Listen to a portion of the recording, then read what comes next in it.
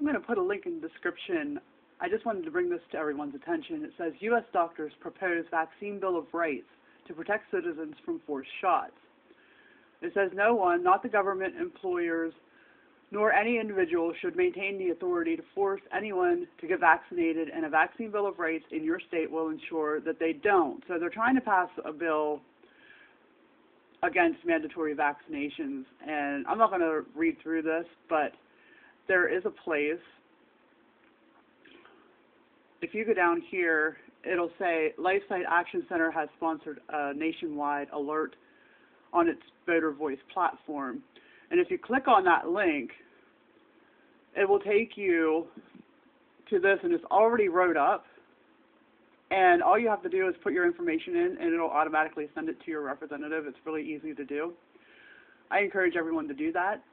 As always, put your faith and trust in Jesus, repent of your sins, and have a blessed day.